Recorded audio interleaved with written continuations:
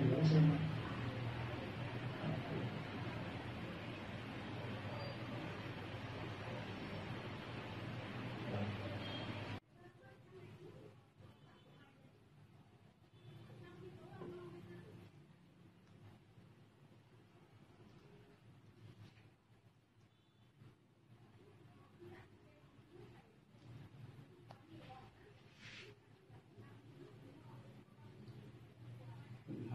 Nhiều quá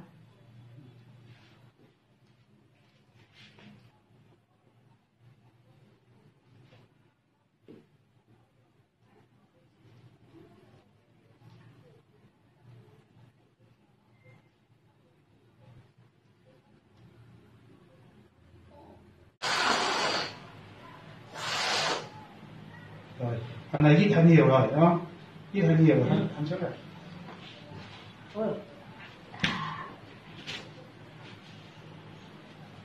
Xịt cái này nữa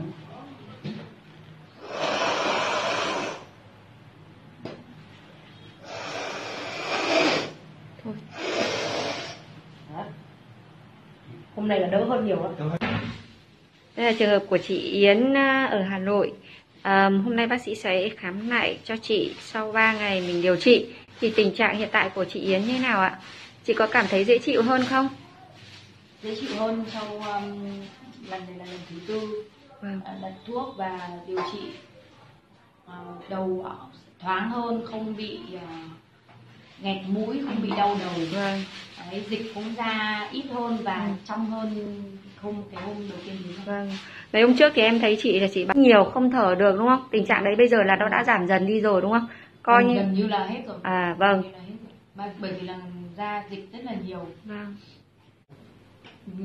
ngày trước là đau đầu lắm đau hết cả xoang này đau gáy. Không ngủ được. Ừ. uống giảm đau không đỡ. Ừ.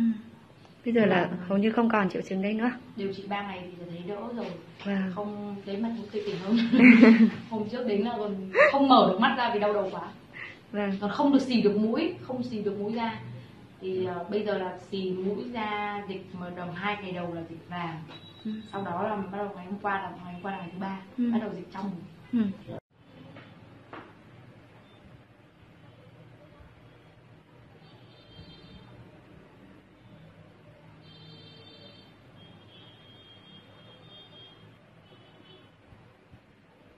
cái bệnh của em thì bao lâu rồi À, bệnh của em bị 10, hơn 10 năm rồi mỗi lần mà thay đổi thời tiết à, trời nắng hay hoặc là trời mưa là bị đau đầu rất là đau đầu.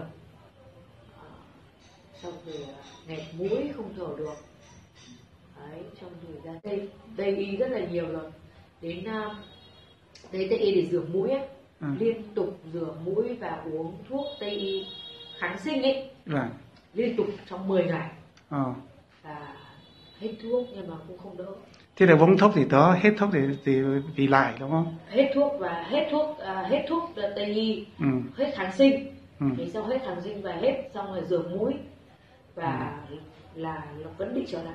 Không Dạ. không khỏi hôm nay thời tiết thay đổi trời mưa và là đau hết ở phần trán này phần xoang này.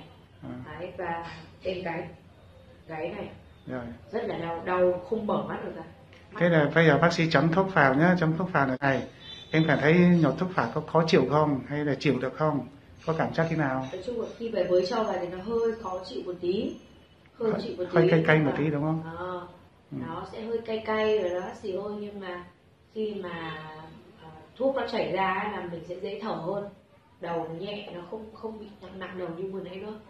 Thì thường là nó nặng hết cả cái chỗ này không quay được không ngoái được. Đâu bình thường á nếu mà không chưa cho vào thì mà nó nó nó không ra được không xì được kể cả biết là trong này có nước mũi nhưng mà không làm cách nào để xì ra được. Chứ có thuốc vào nó xì là thoải mái nó xì ra nhiều. cho chảy đầy ra. Này rồi. Tôi rồi xì xì thêm một lần nhá cái này tôi giờ tới rồi ô à. xì đi xì đi. Đây. Ôi rồi nhiều nhiều đấy ô ôi rồi chỉ nhiều nhỉ.